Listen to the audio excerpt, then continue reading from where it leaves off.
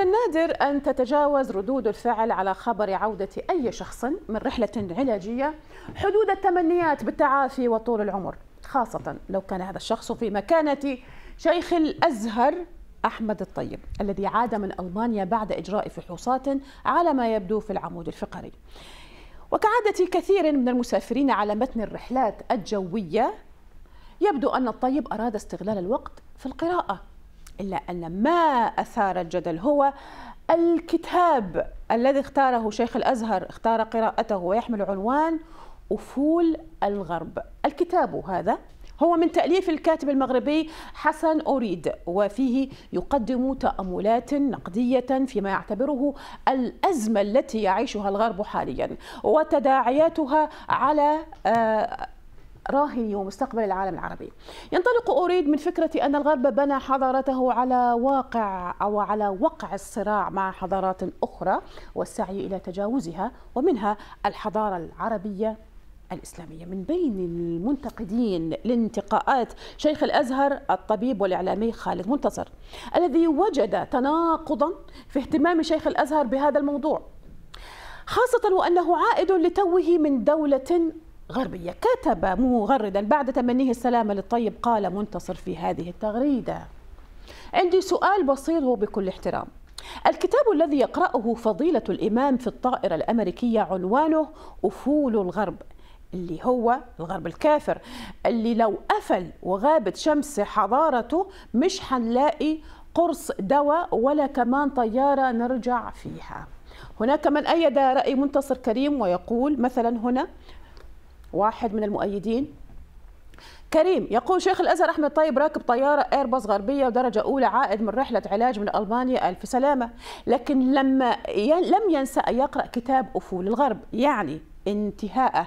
كتاب متطرف ضد الغرب وعلومه وتقدمه عموما مع أن لو أن الغرب أو علومه وتقدمه عموما مع أن لو الغرب انتهى شيخ الأزهر وكاتب الكتاب حيرجعوا يركبوا الحمير ويتعالجوا بالأعشاب. أما هنا أحمد يقول أيضا مؤيدا. لفكرة منتصر.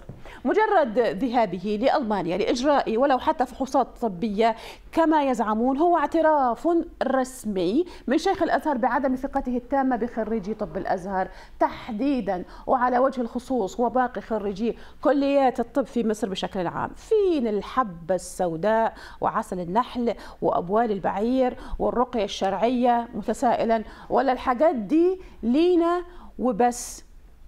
مشاهدينا لم يعلق شيخ الأزهر على الانتقادات والجدل الدائرين إنما جاء الرد عبر تدوين للكاتب ورئيس تحرير جريدة صوت الأزهر أحمد الصاوي.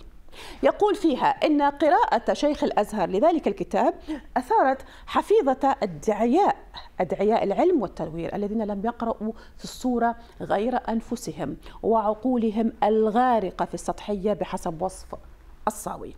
ويضيف الصاوي أيضا في رده. أن اهتمام فضيلة الإمام بالقراءة في هذا الموضوع يتواكب مع اهتمام كبير اهتمام كبير لمفكرين وكتاب ومراكز أبحاث غربية، لو فعل هؤلاء ما أقول ربما لا فتح لهم كتاب حسن اوريد الباب لفهم الاهتمام الغربي وليس العربي بهذه النبوءة، حتى أن اوريد لم يكن أول ولن يكون آخر المفكرين الذين تعرضوا لذلك.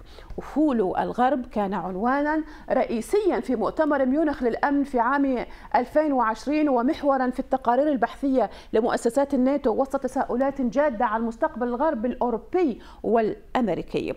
لم يقرأ شيخ الأزهر في قضية هامشية ولا في كتاب صراعي يتحدث عن الغرب الكافر والشرق المؤمن وإنما في دورة حياة الحضارات وأثرها على العرب. أفول الغرب لا يعني أننا سنفقد الطائرة التي نعود بها من سفراتنا ولا قرص الدواء. على مواقع التواصل. هناك أيضا من استنكر ما أسماه بالهجوم على شيخ الأزهر. مثلا هنا إبراهيم معتمد يقول في هذه التدوينة سكريبت متوزع كما يقول في هذه التدوينة. إبراهيم هذه تدوينته سكريبت متوزع نفس الجمل والعبارات في الهجوم على شيخ الأزهر وأنا متأكد أن ولا شخص قرأ الكتاب المذكور ولا يعرف محتوى المفروض أن المهاجمين عارفين أن الإمام دارس في السوربون وواخد منها دكتوراه. وقرأ في كل حاجة لكن لزوم الروشنة الهجوم على الشيخ لأنه يقرأ. أما النائب المصري السابق عمر عمرو الشوبكي يقول أفول الغرب ليس من كتب المصاطب التي تسطح قضية الغرب وتعتبره كافرا. إنها تحمل رؤية عملية نقدية لجوانب سلبية في الحضارة والمنظومة السياسية الغربية وهي جزء من حيوية الغرب الذي يعرف النقد الذاتي والقادرة على المراجعة وتصحيح الأخطاء وهو يفترض أن يسعد أي تنويري حقيقي. شكرا لمشاهدتك ترندنج سنسعد باشتراكك بالقناة. ومشاركتك لقصصنا وإعجابك بها وتعليقك عليها.